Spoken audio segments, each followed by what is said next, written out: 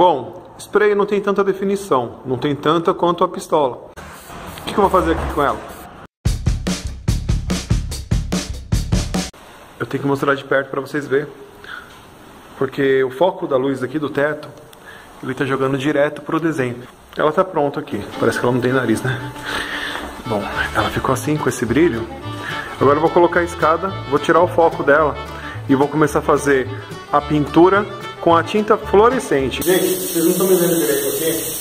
Eu estou usando a tinta fluorescente já. Ela reage com a luz negra, está ligada ali em cima. Eu apaguei quanto de luz eu pude para poder enxergar só a tinta. O interessante é que na hora que eu vou pintando, vocês percebem que está acendendo. Vou fazer o cabelo dela. Os olhos roubaram a cena. Caramba, o olho ali. Meu olho roubou a cena. O olho roubou a cena, né?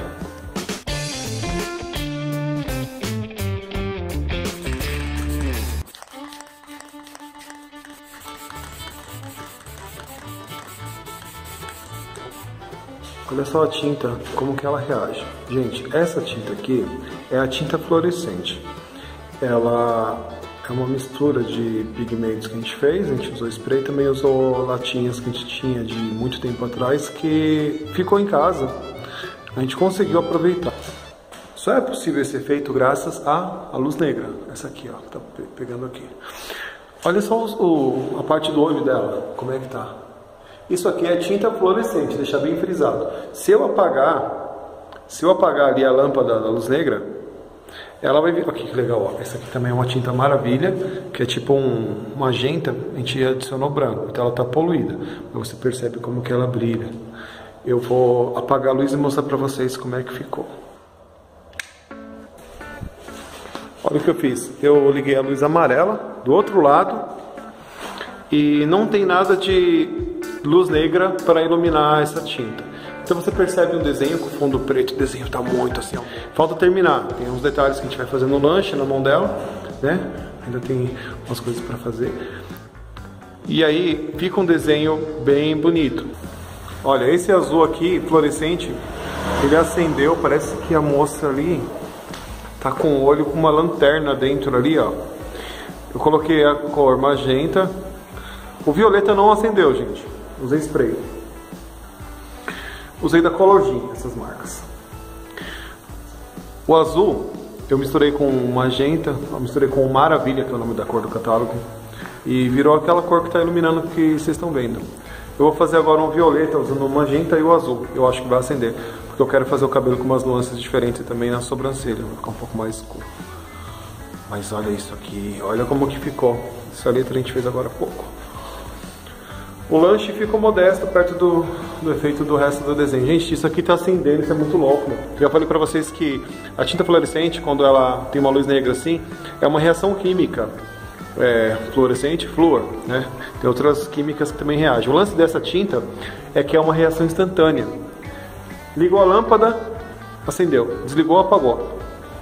Tem outras tintas que demoram para acender e demoram para apagar, o que é mais louco, porque ela se mantém acesa sem nenhuma fonte de calor, simplesmente ela carrega, meu.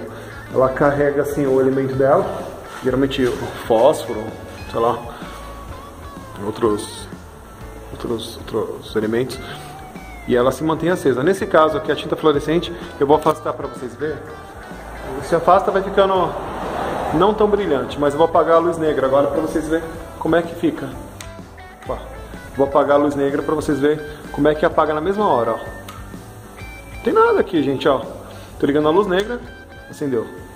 É que tem uns focos também que estão direcionados para o desenho que a gente fez hoje ali. A gente fez aqui um desenho estilo giz,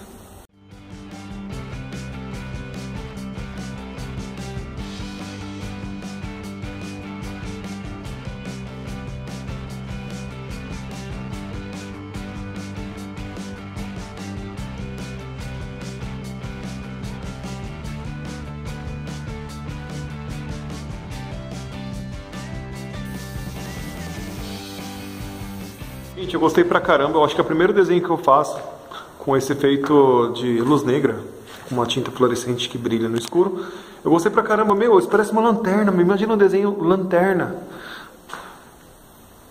Bom, se você imagina alguma possibilidade de um desenho feito com luz negra uma tinta fluorescente assim que brilha usando essa lâmpada no seu quarto, sala, sei lá, na sua loja, já deixa o seu like, se inscreve nesse canal. Por exemplo, você pode pensar em fazer um planeta, sei lá, um espaço sideral, a lua, alguns efeitos assim de raio.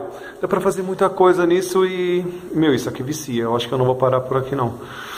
Então a gente se vê no próximo vídeo. Já lembrando, se inscreve nesse canal, ativa a notificação e deixa o seu like se você gostou desse conteúdo. Não aparece só brilho das luzes. Não deixa. Tá bom.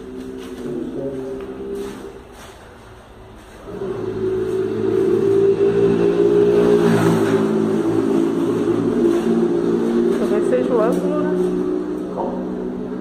Não, não aparece.